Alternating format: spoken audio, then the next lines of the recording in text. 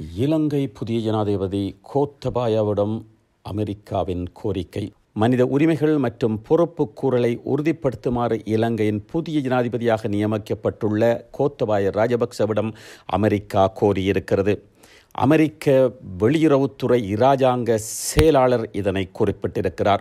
இலங்கையின் நிறைவேற்று அதிகாரம் கொண்ட ஏழாவது ஜனாதிபதி கோத்தபாய ராஜபக்ச நேற்று பதவி பிரமாணம் செய்து கொண்டார். இந்த நிலையிலே அமெரிக்க வெளியுறவுத்துறை இராஜாங்க செயலகம் இவ்வாறு கூறியிருக்கிறது.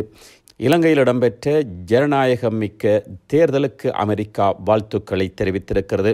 அதே நேரம் புதிய ஜனாதிபதியாக நியமிக்கப்பட்டுள்ள கோத்தபாய் ராஜபக்சவுடன் இணைந்து செயல்படவும் தயாராக இருக்கின்றோம் என்று கூறியிருக்கிறார். பாதுகாப்பு மற்றும் பொறுப்பு கூறல் மனித உரிமைகள் மற்றும் வன்முறைகள் மீள நிகழாது இருப்பதை உறுதிப்படுத்துவதற்காக நாங்கள் புதிய ஜனநாயகத்துக்கு அழைப்பு விடுத்திருக்கிறோம். இலங்கை ஒரு மதிப்புமிக்க நாடாகும்.